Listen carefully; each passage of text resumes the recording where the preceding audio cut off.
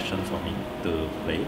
And then when the first time I played jazz, I would say that uh, I listened to all the saxophone uh, players play jazz, like uh, David, Dave Koz, David Sanborn, Charlie Parker, Kenny G. So they, all their songs making me feel like very excited. And then it sounds like it's very interesting to try to achieve like their performance. So I would say um, every time when I listen, I will feel like I will put down all my working thinking and play jazz like as a relax, as a hobby and, and as an exercise.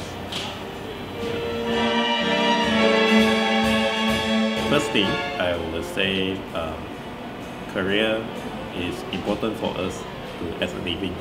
Music is part of my hobby uh, to release stress, stress. And then I would say that both sides I will be trying to be more disciplined in a way that to uh, plan my time, arrange my time, and make everything in systematic way.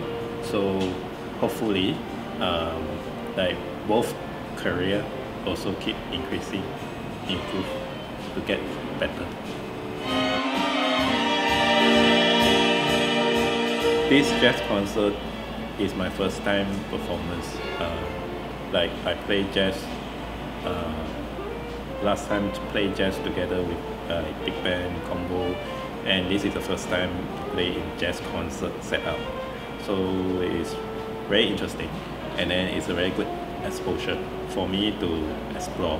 So and also it's very lucky to have uh, play together, perform together with all the uh, musicians and all like um, experience new things in jazz together. Yeah.